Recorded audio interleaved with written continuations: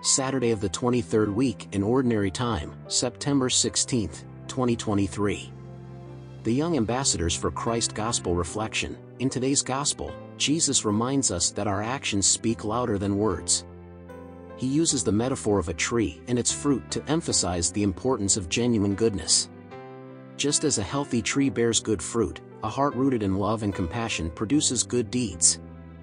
Moreover, Jesus urges us to build our lives on a solid foundation, likening it to a house built on rock. This rock represents faith, trust, and obedience to his teachings. When we anchor ourselves in God's Word, we withstand the storms of life. Let us reflect on the quality of our actions and the foundation of our lives. Are we living out our faith in tangible ways, producing fruits of love, kindness, and mercy? Are we building our lives on the firm ground of God's truth? Christ is the only answer, always and forever. May we strive to be like the wise builder, who not only hears God's word but also puts it into practice.